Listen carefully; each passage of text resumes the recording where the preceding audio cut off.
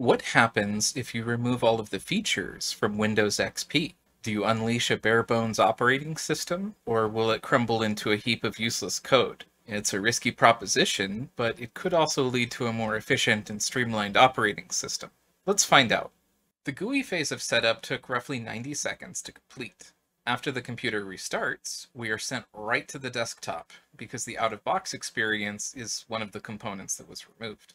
You may have noticed that the default Fisher-Price theme and the iconic Bliss wallpaper are missing. Let's click on Start and see a very bare Start menu.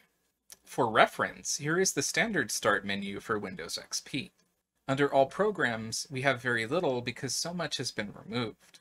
Control Panel is another place where you can see how much was removed.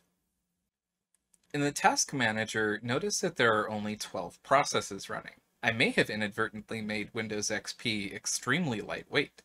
In clicking around through the various Properties windows, I noticed this anomaly where the check mark is selected to allow indexing, but the indexing service has been removed.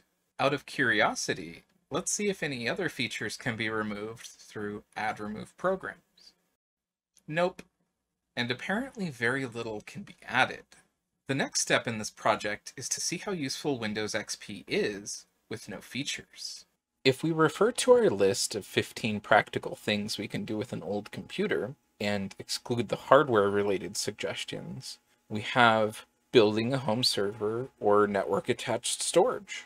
As the networking functionality is completely gone, we can cross these items off our list media server, file server, web server, email server, or dedicated game server. Again, no networking functionality.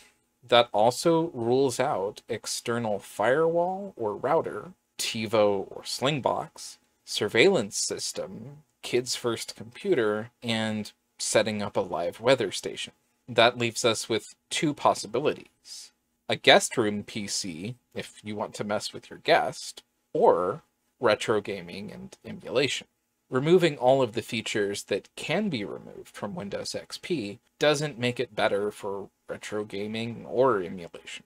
So this experiment was mostly useless. A better solution would be a middle ground of removing some features and keeping others, like the networking functionality.